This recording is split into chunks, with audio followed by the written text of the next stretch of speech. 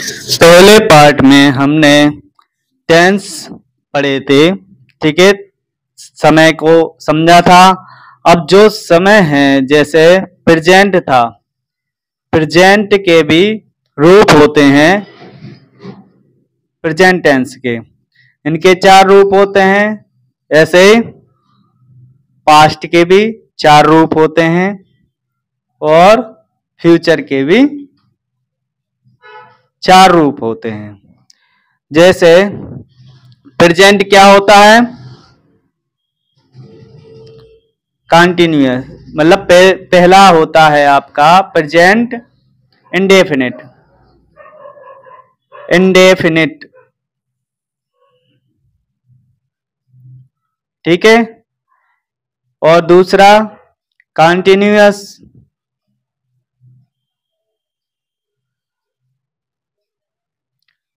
दूसरा कंटिन्यूअस ठीक है?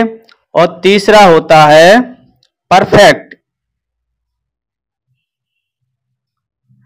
और चौथा होता है परफेक्ट कंटिन्यूअस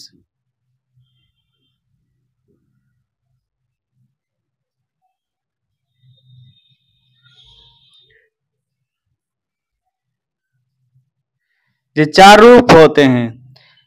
जैसे प्रेजेंट के ऐसे ही होते हैं रूप, इसमें बस पास्ट लग जाता है। Past indefinite past continuous past perfect past perfect continuous जैसे future future indefinite future continuous future perfect future perfect continuous ठीक है? सबके चार चार रूप होते हैं। इसकी पहचान क्या होती है इंडेफिनेट की? कि ता है, ठीक है? ती है, आता है। ठीक है? इंडेफिनिट में। और कंटिन्यूस में रहा है और रही है। ठीक है? जे आता है। और परफेक्ट में क्या आता है? चुका है और चुकी है। ठीक है? इससे पहचान होती परफेक्ट की। और परफेक्ट कंटिन्यूस में रहा है, रही है। और साथ में क्या दिया जाता है प्लस? समय। ठीक है? ऐसे ही इसमें हाल होता है। पास्ट में, फ्यूचर में। जैसे इसमें क्या कर देना है? पास्ट में था कर देना है। बस था कर देना है और वैसे ही क्रम चलेगा, पास्ट इंडेफिनेट में। इसमें है है, था बस कर देना है। रहा, था। ठीक है? और रही, थी। ऐसे करेंगे। और चुका था। ठीक है? चुका, चुकी थी।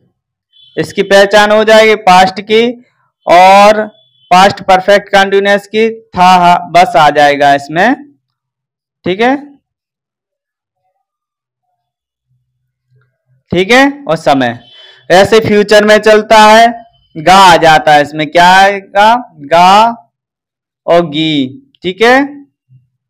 फ्यूचर इंडेफिनेट में। और फ्यूचर कंटिन्यूस में रहा होगा। रहा होगी, ठीक है? ऐसे आते हैं। और जैसे परफेक्ट में क्या होगा? चुका होगा। फिर चुकी होगी। ऐसी पहचान होती फ्यूचर परफेक्ट में। और गा बस आ जाता है इसमें। क्या आ जाता है? गा। ठीक है? गागी का प्रयोग होगा और क्रम आपके बारह हो जाएँगे, ऐसे। ठीक है? अब इसको पहचानने के बाद अगली पार्ट में आपको सब्जेक्ट के बारे में बताया जाएगा और इंडेफिनेट अपन शुरू करेंगे।